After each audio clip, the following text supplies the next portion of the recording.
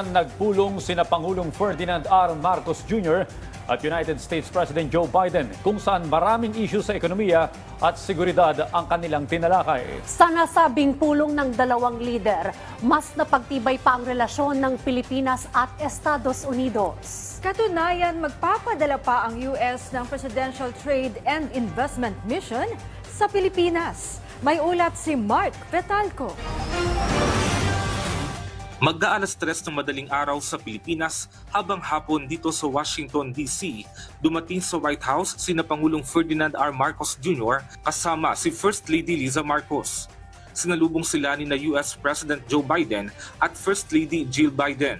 Unang beses na tumuntong si PBBM sa White House bilang Pangulo ng Pilipinas para sa isang bilateral meeting. Sa kanyang opening statement, muling tiniyak ni Biden ang anyay balot sa bakal na pangakong ipagatanggol ang Pilipinas sa gitna ng tensyon sa South China Sea. Gayun din ang kanilang suporta sa military modernization, pagtugon sa climate change at pagkapalago ng ekonomiya sa Pilipinas. The United States also remains ironclad in our, remains ironclad in our commitment to the defense of the Philippines, including the South China Sea, and we're going to continue to support the Philippines military modernization.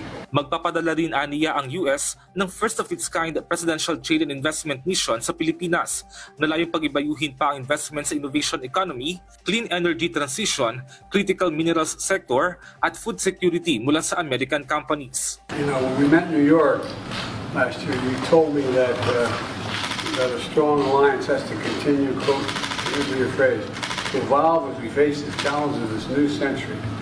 And we are facing new challenges. And I can't think of any better partner to have than you. Sa harap ng lumalalang tensyon sa Asia-Pacific region, iginiiti Pangulong Marcos kay Biden ang pangangailangan palakasin pa ang alyansa ng Pilipinas at Estados Unidos. Kaya nagpasalamat siya kay Biden sa pagkakataong mailahad sa kanya ang mahalagang issue. It is only natural that uh, for the Philippines to look to its uh, sole treaty partner um, in the world uh, to strengthen and to redefine uh, the relationship that we have and the roles that we play in the face uh, of uh, those rising tensions that we see now around the South China Sea and uh, Asia-Pacific and Indo-Pacific regions. Sa joint statement nila Pangulong Marcos at US President Biden, kinilala ng dalawa ang kahalagahan ng pagkatayo ng mga bagong sites sa ilalim ng Enhanced Defense Cooperation Agreement o EDCA at ang pagkapanatili ng kapayapaan sa Taiwan Strait.